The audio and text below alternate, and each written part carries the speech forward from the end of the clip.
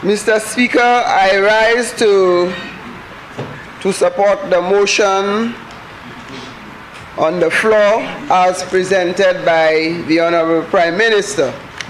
But could you um, give me leave at this time, Mr. Speaker, for me to express condolences to Senator, President of the Senate,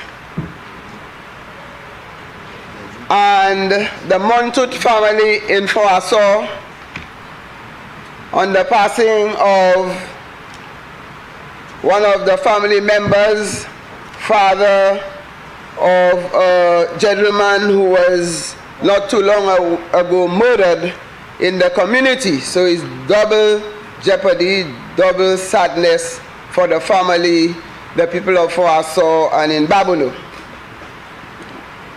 Mr. Speaker, I want to congratulate, I want to join my fellow minister with responsibility for tourism and creative industries in congratulating our young persons who have done excellently, especially in the shows that have gone ahead of the main carnival celebration, where we have our kings and queens who grace us with their presence this morning. Thank you, Mr. Speaker, for allowing them to be with us today. And I want to thank the students from the Birmingham University who have made St. Lucia a very safe haven for them to engage in their practices and preparation for higher education. I thank them for their presence this morning. I also want to, well, our king in Babonneau was dethroned Calypso King was dethroned, but it's always the best that wins, Mr. Speaker, and I congratulate the Calypso King. However, I want to congratulate the Court Babonneau Steel Orchestra for maintaining the, the reign as champion for the panorama. And I will not be I will not allow any other parliamentarian to harass me, Mr. Speaker. I need protection. that um, when we try to give other constituencies a little glory, they try to take advantage of the situation. Um, so sometimes it's your neighbor member, that do you this thing. Babonneau, do you deny that you get safe haven there? Did I deny? Do you deny that you get safe haven in the adjoining constituency for the steel band? No, no, no. What we said, there was an agreement, there was an MOU signed. no, no, no. Those who inherited the constituency have not read the MOU. Mr. Speaker, I speak in this house because the people in Babonneau elected me to represent them, and I thank them for that opportunity. And I will not be dragged into the discussion when some members opposite have raised the fact that um, I speak loudly in the House but not out there. And on the passport issue, I hope, Mr. Speaker, they are hearing the good news coming out of the Immigration Department. And I will continue to speak loud in this House, Mr. Speaker, so that I give my constituency and the people of St. Lucia very good representation. I want to congratulate the primary schools in Babonneau at the CPEA exam, where every single school, there are six primary schools in Babonneau, every single school scored above the mean in this exam. And that is a record, that's history for Babonneau. And I also want to congratulate uh, Mr. Terence Erasmus Finelo, who retired as principal last month, where he served the Babonneau Secondary School from inception for 24 years, Mr. Speaker. That is what you call service. Mr. Speaker, back to the motion at hand. And the motion at hand, Mr. Speaker, speaks to just a few critical points. Promise made, promise kept. And if you look at the Prime Minister's budget address of 2023-24 on page 67, the Prime Minister speaks and he promised to give the St. Lucian people zero rated on lumber, cement, galvanized, steel, plywood, and he has delivered even more than what he promised the people. And Mr. Speaker, the Prime Minister and the Cabinet colleagues, Cabinet of Ministers, added sanitary towels, pads, and tampons, napkins, and similar articles of any material. Mr. Speaker, when I stand in this house and I say that the Prime Minister, I have a Prime Minister who is gender sensitive. I have a Prime Minister who leads a cabinet that is gender sensitive. That is another testimony that we have a government that is gender sensitive, where they added this very essential item for zero rated item in this bill, Mr. Speaker. And Mr. Speaker, I say this because I speak from experience. In 2007, when we had Hurricane Ivan in Grenada, at the time I was heading a regional international organization. And when I tried to make contact with the victims of the hurricane in Grenada, and we asked them, we had to go via Trinidad to enter into Grenada.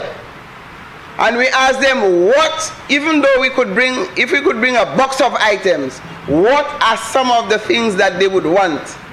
And Mr. Speaker, it was at that time, it hit me home as a woman and understanding the plights of women that they said bringing candles, matches, and they added sanitary napkins to that list.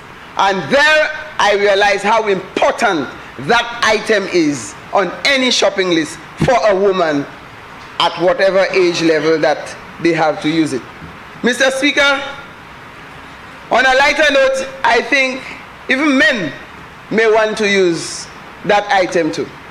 So we are actually futuristic in thinking.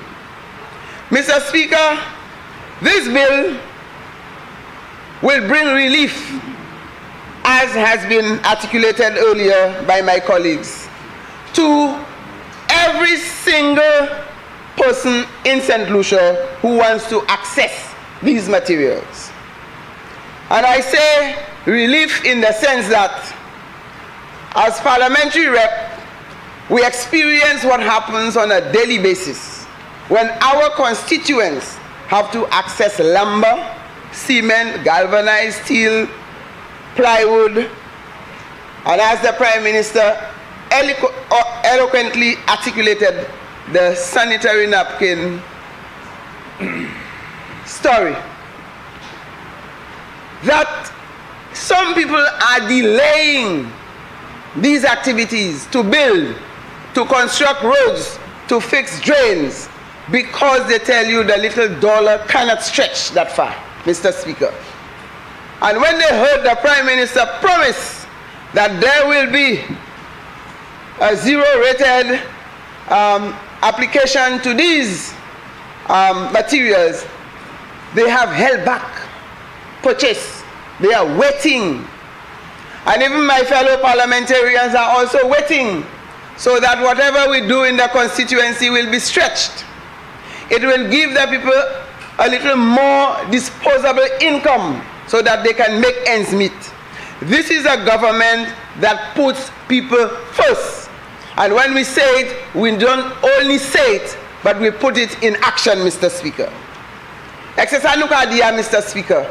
Lè nou pale aswa gouvedman ki konsene apout moun, malewe, moun ki an bouzen, evek premier minis lan, ek se mam kabinet la, se sa yo ka kachile ap.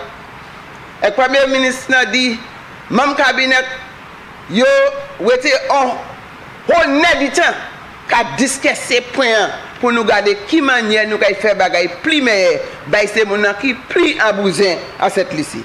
Ek sa son gouvernement ki konsene, ek yo ka mette moun premye, nou ka mette moun avan les ot bagay. Mr. Speaker, I tell my people in my constituency that we have one prime minister. We say PM, but we are MPs. Meaning members of parliament. So you can switch the letter around, PM or MP. So when we are MPs, we are members of parliament.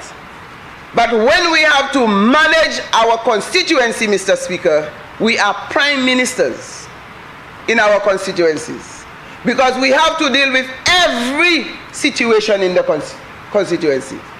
We have to deal with health. We have to deal with tourism. We have to deal with agriculture. We have to deal with infrastructure. We have to deal with youth and sports. We have to deal with housing and local government. We have to deal with equity. We have to deal with our own external internal affairs. We have to deal with our finances. We have to deal with employment, water, electricity, roads, everything your constituent need, you as member of parliament has to deal. And that's why you say you're prime minister of your constituency. So when we hear this bill, Mr. Speaker, speaks to bringing relief to the people in our constituency, it is bringing great satisfaction to our members of parliament because we have to face the reality on the ground. Mr. Speaker, when I visit the community of Babonneau and I go into these areas, and you know the terrain in Babonneau is not an easy terrain the mountains, the hills, the valleys, and the slopes. And you see some of the houses in which people live, Mr. Speaker. This bill, Mr. Speaker, will bring great relief to these people so that they can improve on their houses. They can add toilets to their homes. They can repair some of the rotten plywoods that they have. They can add a little bit of concrete to their homes. And this is what this bill is set out there to stretch the dollar so that more persons can have improved quality of homes, better roads to their homes, and improve the infrastructure in the, in the community. Mr. Speaker, I speak again because when I hear we talk about contractors in our community, persons only think of contractors in terms of construction. And construction meaning using lumber, cement, galvanized steel, plywood. But this will add support to the women contractors after they have taken the little contract and they pay the laborers to do the work. Sometimes they have nothing left for themselves because they are not masons, they are not um, carpenters, they are not electricians, they are not plumbers. So you find the women, they have to struggle to get a little dollar out of a little contract. And I'm saying if the material, they, they, will pay less for the material, that will be a savings for them, Mr. Speaker. And I have done the mathematics. Women are among the greatest economists because they know how to manage the money in the home and they will be able to stretch that so that they can put food on the table for the children, especially the single mothers who are struggling with the children. School is reopening in a while, and they will come and they want books, they want uniform, they want everything. And Mr. Speaker, every dollar that is left in the hands of the people will make a difference to the quality of life. And on that note, I support this bill hundred percent, and I will ensure that the people in my constituency, the people in St. Lucia, in general will benefit from this bill. And I'm very proud that the Prime Minister has kept his word because many times they say they bluff. They say that they will do this, they say they will do that, and they're not saying it. But this prime minister keeps to his word. And after he has written it in the book, he delivers. And he even put a little top up on it. Because he didn't have sanitary napkins and towel in his budget. And look, it's appearing here. And the women in St. Lucia will celebrate that because they will, be they will benefit from it. Mr. Speaker, mwen sa dou, mwen kontan, bil sa la premye minis nan, mette isi an house la hodi ya. Ek sa son bil ki kay mene bon soulajman bayi Saint-Lycien. Presipalman Saint-Lycien ki pli ambouzen. Ek an pil fom ki ka servi sanitary napkin. Yo ni pou achete sa tou le mwa. La yo ka we mwa yo, Mr. Speaker. Mwa yo yo ka kouye yi. Right? La yo ka wè mwa yo, yo ni pou servis sanitary napkin nan. Ek sa ka tou le maman kwe pri bagay sa ka a monte. Evek yo ni pou achete sa. Ek sa son bagay ki important. So Mr. Speaker, mwen ka sipote bil sa la. Ek mwen ka mwede se moun nan ki ni, se jan biznis lan, ki ni pou implemente bil sa la pa fè malis. wè ki yo bay se mounan bagay la pou priya ivoa. E gouvernement kay gade, mette mounan plas pou wè ki yo suiv lwa sa la kon gouvernement mette yo. And Mr. Speaker, I want to encourage the business places to keep to the regulations so that the people get the benefit of that bill. And we are looking forward to the implementation of this bill and let us continue to put the people first put more money at the disposal of the people, and let us improve the quality of life for all St. Lucians. Thank you, Mr. Speaker.